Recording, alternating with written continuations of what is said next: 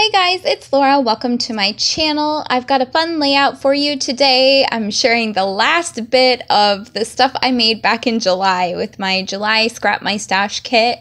I have gotten so behind on videos because I made so much stuff like the last four months doing these Scrap My Stash challenges. I have found that my productivity is like skyrocketed and it's impossible to edit and share all of the videos in real time. So, anyway, catching up, and I think this is the last or the second to last project I have from July. And this layout is called Weekend Away. I have some patterned paper there, and I sliced it up with my paper trimmer to be about a half inch wide by 12 inches long. And I create a border all around my page using that patterned paper. And this is one way I like to use really busy patterned paper.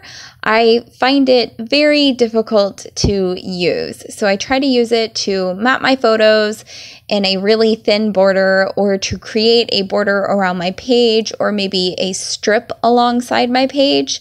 That way, it's not taking up too much of my page because they tend to grab your attention and your eye, and I usually want the attention to be on my photo cluster here.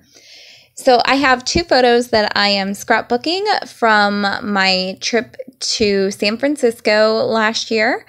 And it was just a very quick weekend trip my guy and I went on to go to one of his friends' weddings. And one of the evenings we were there, I ventured out on my own and went to Land's End, which is this beautiful lookout onto the ocean with these rocks coming out of the ocean. And the whole thing is gorgeous, as you can see in these photos.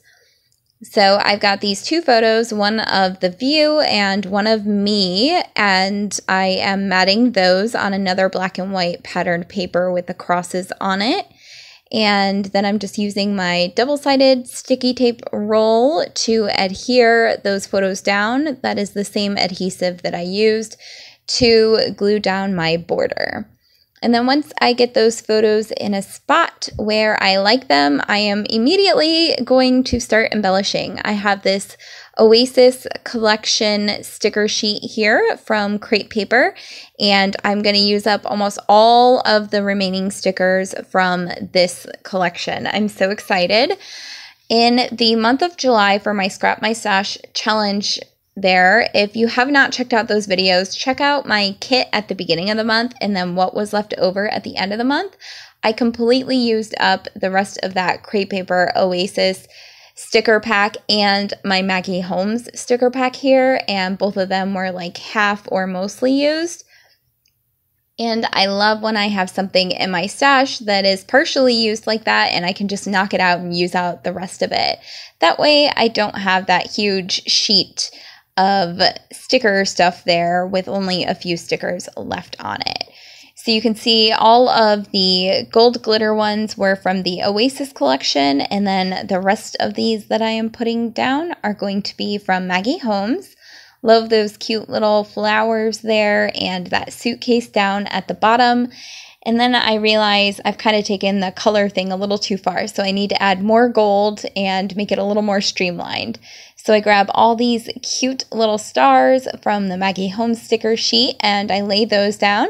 And you can see I have the line for the eye to follow and it's slightly diagonal from bottom left to top right. And I really like creating diagonal visual lines in a lot of my scrapbooking layouts. It's easy for your eye to follow, and usually I cluster my photos somewhere in the middle. So it's very appealing for me to look at. Different people have different techniques. I tend to put my photos right in the middle and then create a visual diagonal line around them. And now I'm just trying to use up as much stuff as I can from that Scrap My Stash challenge kit there without going too crazy.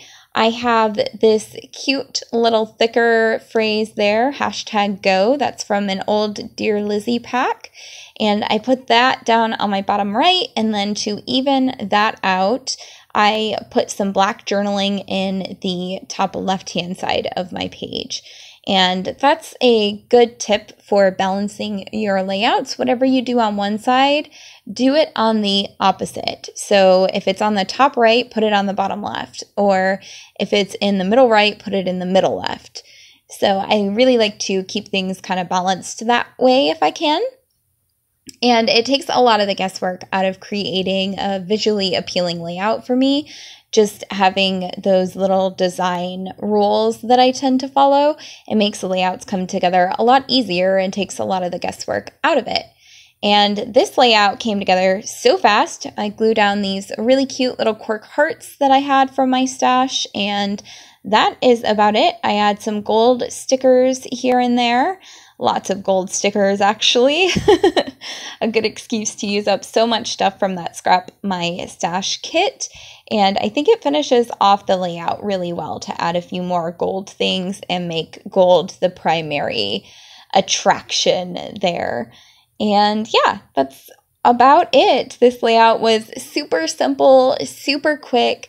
In real time, it took me about a half an hour to make, and that is really quick for me. My layouts usually take much, much longer because I tend to do a lot of techniques in them where I'm cutting up paper and rearranging paper and trading out embellishments and doing hand embroidery or painting or some kind of mixed media. This layout was not like that at all. I just stuck things down and was pretty happy with most of the stuff the first time I did it. So that was a delight. And here you can see what the finish page is looking like. I stick down some pretty enamel dots. I've got some light pink glittery ones and more of those gold stickers.